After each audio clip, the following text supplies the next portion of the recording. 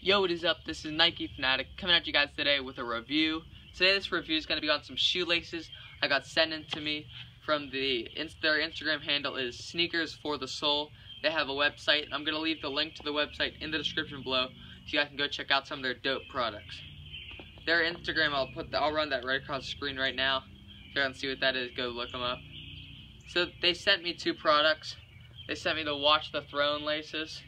These laces are purple and green. They're based off the Watch the Throne LeBron 9 shoelaces. But these laces, they're a little different because I don't think, I'm pretty sure the Watch the Thrones had some red in them. So they're a little different but still very cool.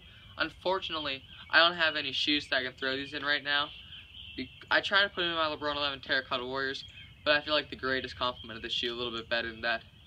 But let's get into the shoelace that I'm very excited about. This is the, it's called the Nova Galaxy. It has some orange, red, purple, and blue in there. And they're completely different on each side. So they, it looks a little the same right now, but these top, it's all different. So it's kind of like, it all depends on which lace you get, where it's what it's going to end up looking like. But they all look cool, trust me.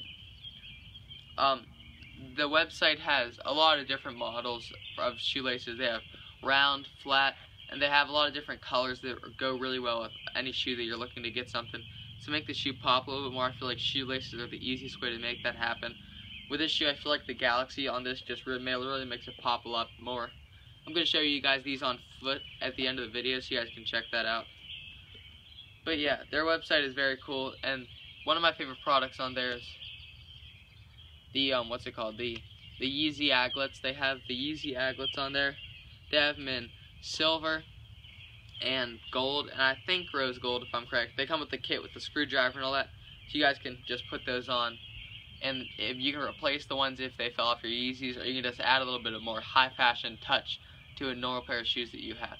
So yeah, let's get right into the on foot right now so I can show you guys what these look like.